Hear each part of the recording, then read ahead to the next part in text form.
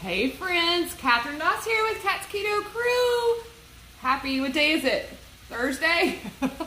okay, so I am making some egg roll in a bowl tonight, and I know there's a gazillion recipes out there, but this is like the easy way to almost even cheat a super easy meal to start with. It's like ridiculously easy. So over here, I did start with a little bit of sesame oil in my pan, okay? Got that heated up and added about a pound and a half of um, just ground pork, okay? So not even sausage, like just ground pork.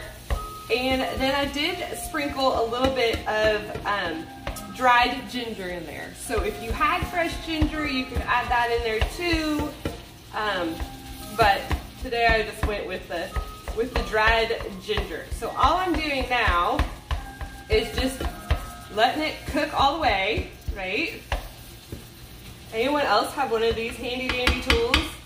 Okay, so I'm not a pampered chef rep, but this might be one of my favorite like pampered chef gadgets. This thing is fabulous for like chopping up, making like the crumbles, the meat crumbles, right?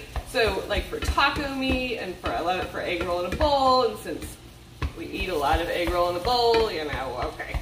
So, but it just chops, right? Even if your meat is like slightly on the edge of frozen, it like helps break it up too. So anyways, just one of those handy gadgets. Anyone else? Love it. Okay, so that is cooked. Now, this is where it gets like stupid, stupid easy because well, you're going to see. So, I am taking a, bag of coleslaw. Okay, so this is just a regular old bag of, of coleslaw from Publix. Let's see if I can get it open without um, spraying it all over the place. Go for the knife before we have a spectacle. All right, and I am literally just going to dump the whole bag in there.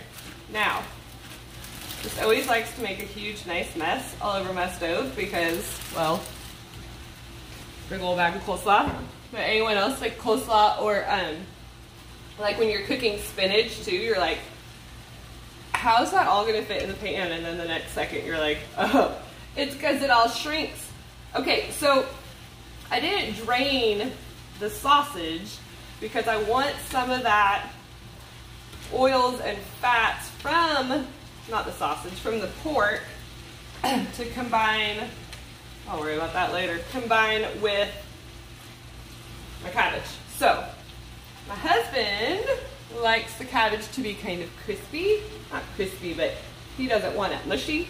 So, I am just stirring to get some of this cabbage to get a little smaller it will shrink like um, spinach too. Cabbage, spinach, they all do the, the shrinking thing. Okay, and this is where it gets really easy. So if you see egg roll in a bowl recipes, they have lots of ingredients. This is one of my main ones, okay? So this is sugar-free G. Hughes teriyaki marinade. It's one of my favorites. I grab it at um, Walmart Neighborhood Market. So I'm literally just going to put I don't know, maybe that's about four or five tablespoons. I guess it's gonna kind of depend on how saucy you want your egg roll bowl, but like literally you could stop there. Like you could just add this and be done.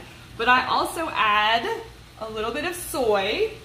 I find that that sugar-free um, G. Hughes carries enough sugar or sweetness to it that you don't need to add any other sweetness to it. And we like it spicy around here. So I'm also adding a touch of sriracha to it.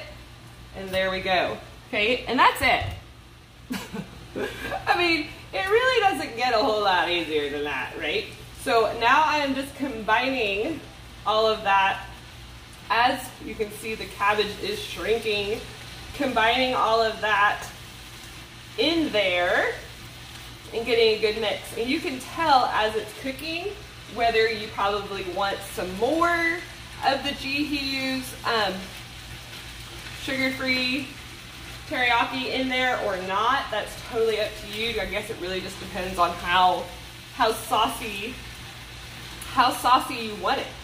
So here is another interesting tip with egg roll in a bowl. So this you can eat just like this, right? You could put it on top of cauliflower rice if you really wanted to.